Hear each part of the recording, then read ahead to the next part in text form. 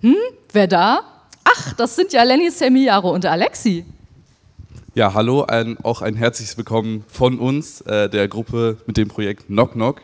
Ähm, ich würde uns einmal ganz kurz vorstellen. Ähm, das ist Alexi, das ist Jaro, das ist Lenny, ich bin Sammy und wir haben das Projekt äh, zusammen mit unserem wundervollen Mentor Flimmy umgesetzt. Auch an der Stelle schon mal ein großes Dankeschön und einen großen Applaus an Flimmy.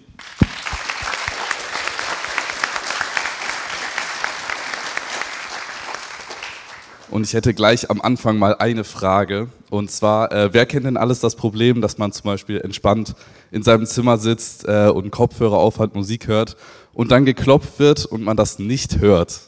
Wer kennt das? Oh ja. Das sind einige.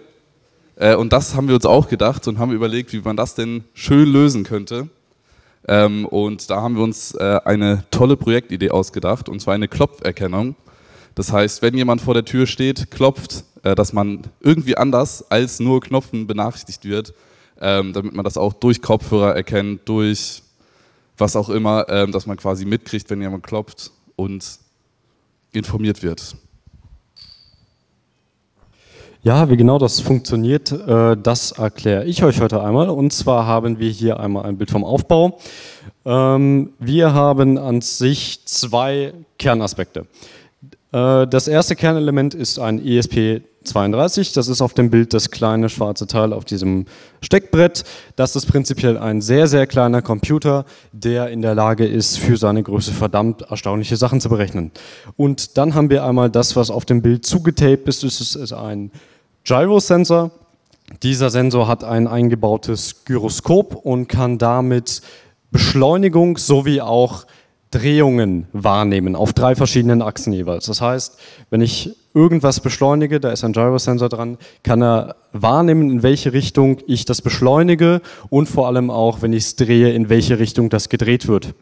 Und das haben wir uns tatsächlich auch sehr zu Nutzen gemacht. Und zwar läuft das Ganze so, man klopft und dann wird aber noch unterschieden, der Case. Es kann ja sein, dass man einfach nur seine Tür öffnet und man möchte natürlich nicht benachrichtigt werden, wenn man einfach nur aus seinem Zimmer geht oder in sein Zimmer gerade betritt. Demnach unterscheiden wir zudem auch, ob sich die Türe gerade öffnet.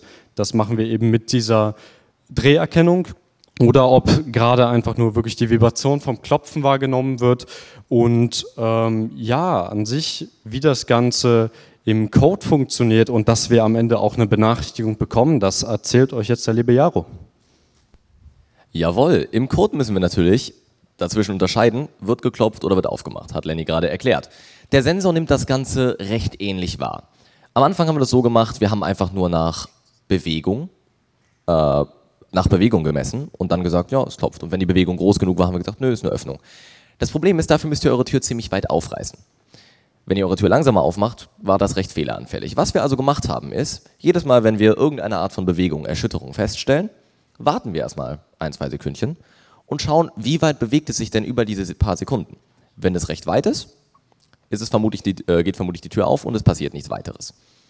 Was wir dann weiterhin machen, wenn es sich nicht weit bewegt und wir uns ziemlich sicher sein können, hu, da wurde geklopft, schicken wir das Ganze von diesem kleinen Minicomputer, der überraschenderweise auch mit dem Internet interagieren kann, an unseren Server und der benachrichtigt dann weiter. Wie das Ganze in Action funktioniert, zeigt Alexi jetzt mal. Dafür machen wir hier mal klein, weil wir wollen ja auch gerne zeigen, dass wir auch benachrichtigt werden. Und zwar haben wir jetzt hier unseren Aufbau, nämlich einmal ein Holzbrett und das ist gelagert auf Schaumstoff, damit sich das Holzbrett ein bisschen bewegen kann, wie eine Tür, die vibriert. Und hier haben wir unseren Sensor in einem Case, äh, zusammen mit dem Mikrocontroller, verbunden mit einem Akku. Und wir können jetzt mal gucken, was passiert, wenn man auf das Holzbrett draufklopft. Dann fangen die Lampen an zu blinken und ein Klopfen ist erkannt. Wir können es mal versuchen.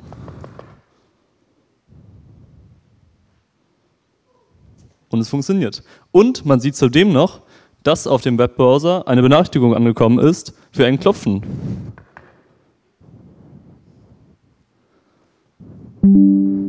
Ja.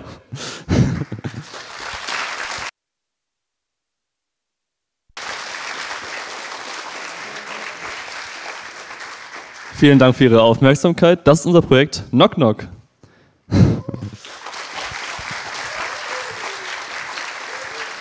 Habt ihr noch Fragen? Hat wer noch eine Frage? Das sieht nicht so aus. Sehr gut. Dankeschön.